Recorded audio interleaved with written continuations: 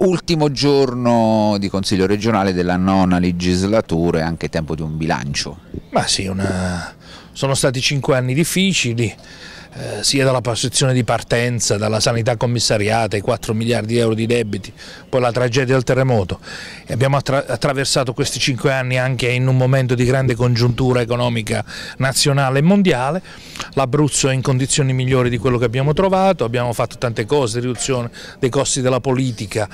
e anche riduzione di tanti carrozzoni che in quel momento erano, sembrava, ci voleva il navigatore satellitare per orientarsi su tutti gli enti collegati alla regione, ma principalmente sono stati anni difficili perché eh, amministrare in questo momento con cambio di norme in corso, basti pensare alle normative sui servizi pubblici, prima promulgate e poi cambiate e cambiate dalla Corte Costituzionale, abbiamo avuto veramente anni di grande impegno. Oggi è l'ultimo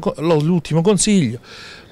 credo che anche oggi andremo poi a, a, trovare delle soluzioni sul piano faunistico, altre problematiche del piano demaniale, cose che oggi sono all'ordine del giorno, ma principalmente credo che civilmente chiunque abbia avuto attività in questo, dalla maggioranza all'opposizione, si deve salutare per iniziare, anche se già iniziata per, per la verità, una campagna elettorale ecco, che appunto, essere... Siamo in campagna elettorale, sì. lei è ancora una volta candidato sì. con Fratelli d'Italia Alleanza Nazionale.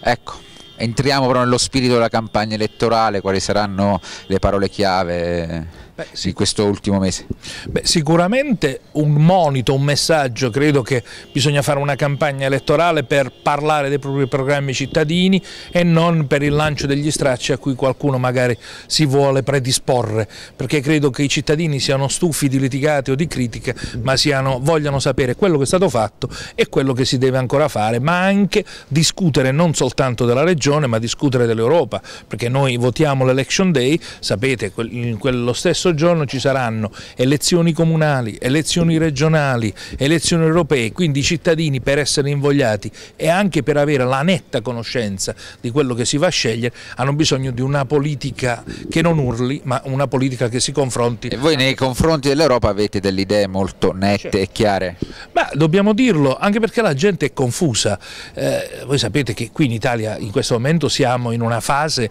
di governo delle anche intese dove un alleato di, del centrodestra comunque al governo con Renzi e la stessa Forza Italia diciamo, ha, ha, trovato un accordo Berlusconi-Renzi su alcune problematiche, legge elettorale e quant'altro. Fratelli d'Italia è nettamente all'opposizione del governo Renzi, ha una visione dell'Europa da rivedere, bisogna rivedere il discorso dell'euro, i trattati con l'Europa, ma anche tante cose. Basti ricordare l'Europa qualche anno fa negò le radici cristiane dell'Europa, quindi voglio dire ad oggi abbiamo una tecnocrazia democrazia al comando dell'Europa, noi vogliamo dare dei messaggi forti, che messaggi che non debbano assolutamente coincidere con derive xenofobe e altro, ma il discorso di rappresentanza del territorio e di rispetto di quelle che sono le nostre prerogative nazionali credo che siano non solo nostra idea da proporre per le europee, in questi giorni poi lo ricordo ci sarà domani Alemanno ad Avezzano, ci sarà sempre Alemanno dopodomani mattina a Pescara, ci sarà la visita della Menoni in Abruzzo, quindi a, a testimonianza che Fratelli d'Italia in Abruzzo è collegata al partito a livello nazionale in maniera piena, in quanto i propri leader eh, vengono spesso e torneranno spesso in Abruzzo. Sarà una grande battaglia elettorale, vinca il migliore, ma principalmente vinca il rispetto anche dell'avversario. Che peso avrà nella campagna elettorale la questione morale ricordiamo tutti il recente scandalo politico-giudiziario di eh, Rimborsopoli. Ma sicuramente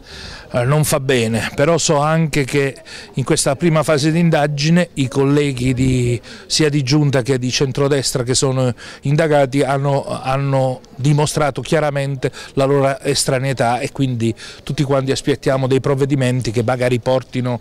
eh, se non totalmente, a tante archiviazioni delle posizioni. Però non non vorrei, non, non è possibile assolutamente paragonare in questi giorni uno scivolone, un qualcosa che probabilmente ci danneggia a livello di immagine, a problematiche di giudiziarie che invece sono oggetto tantissimo anche di dibattito in questi giorni. Lo sapete, la candidatura d'Ambrosio, le problematiche del Presidente Alfonso, credo che in questo momento vada, vadano separate le due posizioni e il dibattito anche sui giornali sulla protesta della sinistra radicale che non vuole alcuni candidati inseriti nella lista Alfonso sia quello il vero dibattito sulla problematica paradossalmente dalla parte opposta condivide.